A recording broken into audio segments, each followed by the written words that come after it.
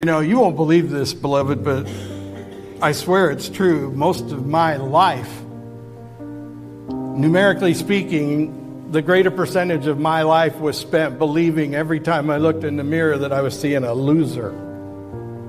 I believed that I was destined to fail at anything I tried. I believed that I wasn't good enough most of my life. And the funny thing is is that I can honestly say that becoming a pastor began to change all of that for me, but I had to figure out how to embrace my unworthiness as the key to my success. I had to figure out how blessed losers are the people that God can most likely succeed with. When you see the Holy Spirit at work, it always changes lives because it is an overwhelming expression of the unlikely. Right? And the message of the gospel of Jesus Christ is being expressed perfectly. Right?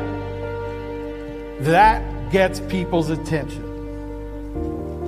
And it brings salvation not only to a select group of people but to anyone who would receive it.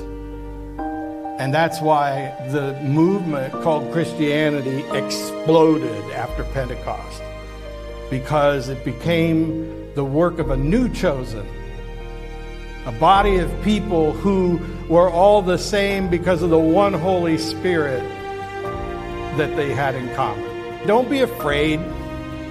Don't be afraid. Our Lord is gentle. Our Lord is so compassionate. Our Lord is not afraid of you, and you don't need to be afraid of Him. Ask Him to fill you with the Holy Spirit. Ask Him to fill this church with the Holy Spirit.